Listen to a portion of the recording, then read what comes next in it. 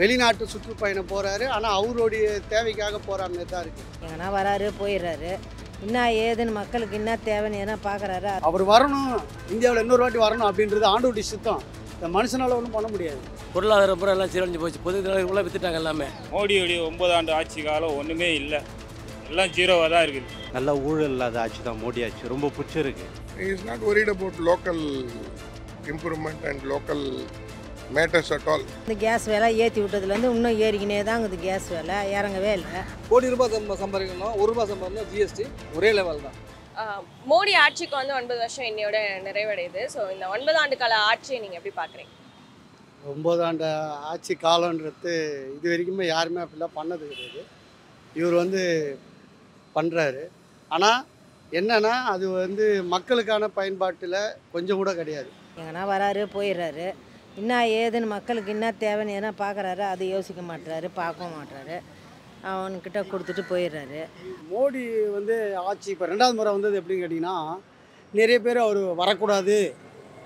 அவர் வந்து இப்படி இருக்கும் அப்படி இருக்கும் சரி இருக்காது அப்படின்னு சொன்னாங்க. ஆனால் இருந்தாலும் அவர் தான் வந்தார். இல்லையா? வர்றதுக்கு என்ன காரணம் தெரியுமா? ஆண்டவருடைய சித்தம். அவர் வரணும் இந்தியாவில் இன்னொரு வாட்டி வரணும் அப்படின்றது ஆண்டவருடைய சித்தம். இந்த மனுஷனால் ஒன்றும் பண்ண முடியாது. இப்போ ரெண்டாயிரம் நோட்டு வேற பிளாக் பண்ணுறேன்னு ரெண்டாயிரம் நோட்டு கூட செல்லாது. வேற நோட்டு போடுறேன்னு சொல்லி அது கூட மக்களுங்க வியாபார இடத்துல வாயில எல்லாம் வயிற்றுல வாயில அடிச்சுக்கிட்டாங்க. இப்போ நாங்கள்லாம் ஒவ்வொரு ரூபாய் ரெண்டு ரெண்டு ரூபாய் அந்த ரெண்டாயிரம் நோட்டு மாற்றினாதான் அவங்க என்ன வரவு செலவு பார்த்து எங்களுக்கு வியாபாரம் ஓடும். எங்களுக்கும் கூட வியாபாரம் இல்லாமல் பண்ணிட்டாரு. நல்லதாக இருக்குது அவரோட ஆட்சி. இன்னும் விலைவாசி தான் கொஞ்சம் உயர்வாக இருக்குது கேஸ் விலை இந்த அத்தியாவசிய பொருள் எல்லாம் வாகனம் இது இந்த வாகனம் அந்த ஃபைன் போகிறதெல்லாம் அதுதான் கஷ்டமாக இருக்குது. மற்றபடி அவர் ஒன்றே கிடையாது. நல்ல ஊழல் இல்லாத ஆட்சி தான் மோடி ஆட்சி. ரொம்ப பிடிச்சிருக்கு இந்த வாகன சட்டம்லாம் கொஞ்சம் அது இல்லாமல் பண்ணாருன்னா நல்லாயிருக்கும் அதுதான் இப்போ எல்லாருக்கும் ரொம்ப கஷ்டமாக இருக்குது ரெண்டாயிரத்தி இருபதில் வல்லரசு நாடத்தில் கன்ஃபார்மாக சொன்னார் அவர். இப்போ ரெண்டாயிரத்தி இருபதில் ரெண்டாயிரத்தி எண்பது கூட ஆகாது அந்த அளவுக்கு பின்னால் போயிடுச்சு பொருளாதாரம் பூரா எல்லாம் சீரழிஞ்சு போச்சு. பொது தலைவர்களாக வித்துட்டாங்க எல்லாமே. வருமானமே இல்லாமல் ஆகிட்டாங்க கவர்மெண்ட்டுக்கு அதனால் வந்து ஆட்சி சீரழின்னு சொல்ல முடியும். மோடியுடைய ஒன்பது ஆண்டு ஆட்சி காலம் ஒன்றுமே இல்லை. எல்லாம் ஜீரோவாக தான் இருக்குது. கீழ்மட்ட மக்கள் கீழ்மட்டத்தில் தான் இருக்காங்க. மேல்மட்ட மக்கள் மேல்மட்டத்தில் இருக்காங்க. கீழ்மட்ட மக்களுக்காக எதுவுமே செய்யலை மோடி. ஃபார்ம விவசாயிகள் போராட்டம் பண்ணும்போது ஒன்றும் பண்ணலன்னு நம்ம விட்டோம். பட்டு இப்போ இந்த ரெஸ்ட்லெஸ் பண்ணும்போது எல்லாரும் என்னது எங்கள் குழந்தைங்க அப்படின்னு வர He has not done anything. He has not attended. He has not sent anybody to this one. He is working, focusing on only foreign trade foreign இது அதை பற்றி தான் மோர் ஃபோக்கஸ் பண்ணுறாரே தவிர is not worried about local improvement and local matters at all Modi என்ன சொன்னார் நான் கேஸுக்கு கேஸ் வாங்கினா காசு போடுறேன்னு சொன்னார் ஒரே சும்மா ஒரு மூணு மாதம் போட்டார் அதோடு நிறுத்திட்டார் போடல அதுக்கப்புறம் வந்து கேஸ் விலை ஏற்றி விட்டதுலேருந்து இன்னும் ஏறிக்கினே தான் இருக்குது கேஸ் விலை இறங்கவே இல்லை. ஒன்பது ஆண்டு காலம் ஆட்சி வரவே வரந்துக்கு தான் இருக்கும் தடுக்க முடியாது. இதில் இருக்கிற சட்ட திட்டங்களை வந்து கொஞ்சம் மாற்றினா மாற்ற முடியாது. ஏன்னா செயல்படுத்துகிறாங்க அதை வந்து படிச்சவங்க மட்டும் டிஜிட்டலாக பண்ணுறாங்க இதுமாரி சாமானிய மக்களுக்கு ஒரு லாபமும் இல்லை. அதிகப்படியான நஷ்டம் தான். ஏன்னு கேட்டிங்கன்னா ஜிஎஸ்டிலாம் ஒரே தன்மை. கோடி ரூபாய் சம்ப சம்பாதிக்கணும் ஒரு ரூபாய் சம்பாதிக்கணும் ஜிஎஸ்டி ஒரே லெவல் தான். அப்போது பாதிப்பது சாமானிய மக்கள் தான். தினசரி கூலி தான் சாதாரணமாக ஒரு மனுஷன் ஒரு குடும்பத்தையே நடத்துறதுக்கு ரொம்ப திண்டாடுறான். ஆனால் அவரை பாராட்டணும். அவர் இந்தியா ஃபுல்லாக அவர் வந்து இவ்வளோ மெயின்டைன் பண்ணி கொண்டு வந்துக்கிட்டு இருக்கிறாரு. இது வரைக்குமோ பத்திரிகையை பத்திரிக்கையை சந்தித்து பிரச்சனைகளை அவர் சா சார்ந்த பிரச்சனைகளையும் எதையுமே வந்து பேட்டியும் கொடுத்தது கிடையாது.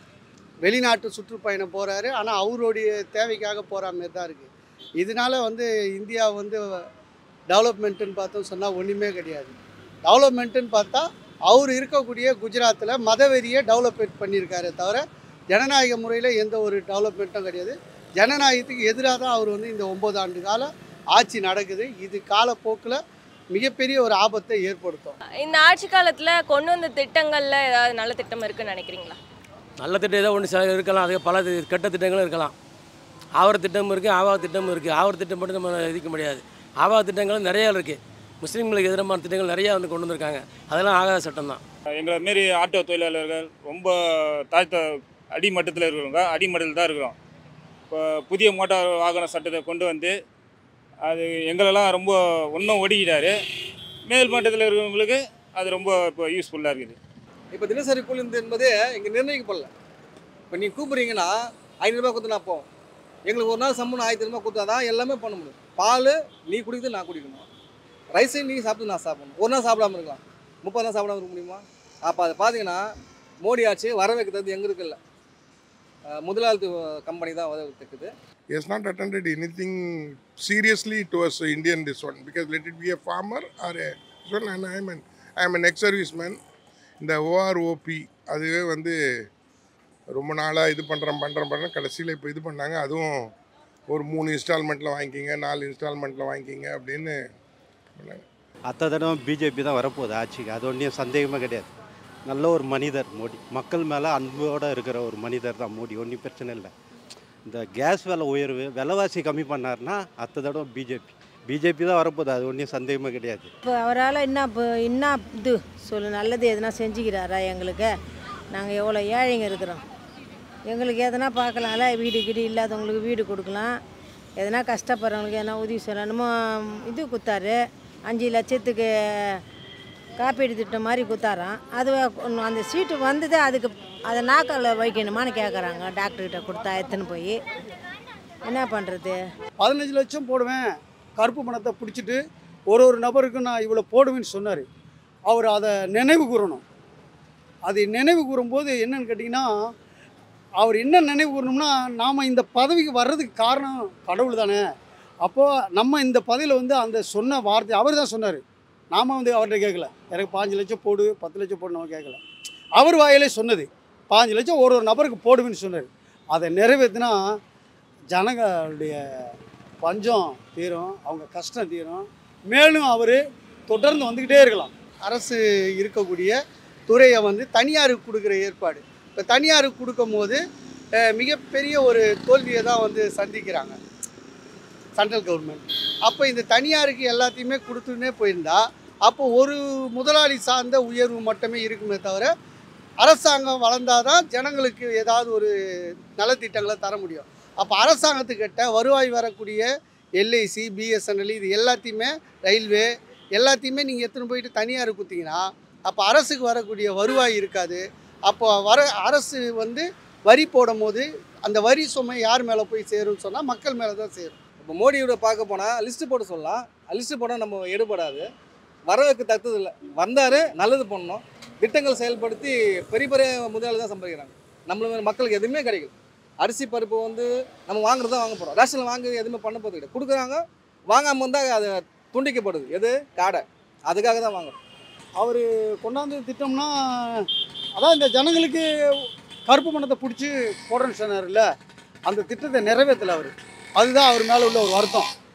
ஆமாம் மற்றபடி எல்லாம் மெயின்டைன் பண்ணி கரெக்டாக பேலன்ஸ் பண்ணி போயிட்டுருக்கிறாரு சாதாரண என்னுடைய ஆட்டோ தொழிலில் நூறுரூபா பெட்ரோல் ஆயிடுச்சு இன்றைக்கி எண்பது ரூபாய்க்கு போகிற இடத்துல நான் நூறுரூவா கேட்குறேன் அவங்க தர மாட்டுறாங்க அப்போ நான் காலப்போக்கில் ஆட்டோவை விட்டுடணும். ஓலா ஊப்பர்னு வந்துச்சு. அப்போ ஓலா ஊப்பர் யார்? அரசாங்கம் எடுத்து நடத்தலாம்ல அது மத்திய அரசாக இருக்கட்டும் மாநில அரசாக இருக்கட்டும். அப்போ இது எதுவுமே கவலை கிடையாது. தனியார் த தனிநபர் அம்பானி அதானி இந்த முதலாளிகள் வாழறதுக்காக தான் மோடி அரசாங்கம் செயல்படுது. இந்த ஆட்சிக்கு நீங்க பத்துக்கு எவ்வளவு மார்க் போடுவீங்க? பத்துக்கு நாங்கள் போடணுன்னாக்கா மிஞ்சி போனால் ஒரு ரெண்டு தான் போட முடியும். ரெண்டு கூட கொஞ்சம் கஷ்டம்தான். Overall out of ten we can give him three marks பத்துக்கு ஒரு ஏழு போடலாம். ஒம்பது ஆளுக்கு ஆட்சி பார்க்கும்போது ஜீரோ தான் அது. பத்துக்கு அஞ்சு கொடுக்கலாம். அவருக்கு மார்க்கே போடக்கூடாது. நம்மளது நூறு தான் அவருக்கு. பத்துக்கு இல்லை. சிறப்பான ஆள் தான்ப்பா இதுக்கு மேலே என்ன சொல்கிறது பத்துக்கு ஜீரோன்னு தான் நான் சொல்லுவேன்.